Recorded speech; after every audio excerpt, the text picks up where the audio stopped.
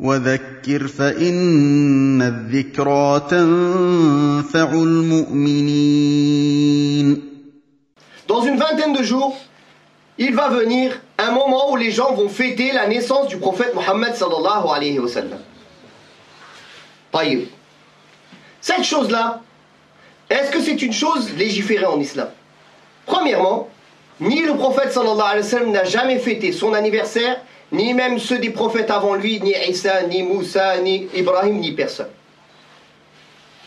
Ni les compagnons du prophète sallallahu alayhi les quatre califes, ni même tous les autres compagnons, ni même les tabi'in, ceux qui ont vu les compagnons, ni même les tabi' ni même l'imam Malik, ni même l'imam Abu Hanifa, ni même Shafi'i, ni même l'imam Ahmed, ni même Layth ibn Sa'd, ni même l'Awza'i, même aucun savant de l'islam. Vous savez quand est-ce que cette chose elle a apparu?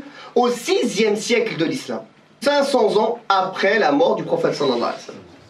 Jamais, pendant tous ces siècles-là, ils n'ont jamais fêté l'anniversaire du prophète sallallahu alayhi wa sallam. Qui a inventé cela?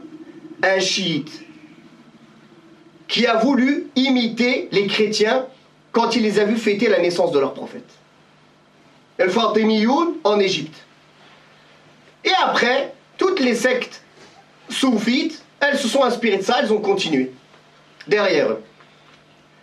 Ça, c'est la première chose. Est-ce que nous, on prétend aimer le messager d'Allah plus que les compagnons? Plus que ceux qu'Allah a choisi comme ses compagnons? Plus que les grands imams de l'islam? Plus que les savants? Pourquoi alors eux, ils n'ont pas fait cette fête Et nous, on prétend aimer le prophète sallallahu alayhi wa sallam en faisant des innovations alors que toute l'année, toute la journée, on désobéit à ses ordres. On ne suit pas sa sunna. Nous, soi-disant, on aime plus le prophète sallallahu alayhi wa que ces gens-là. Ceux qui disent ça, c'est des menteurs.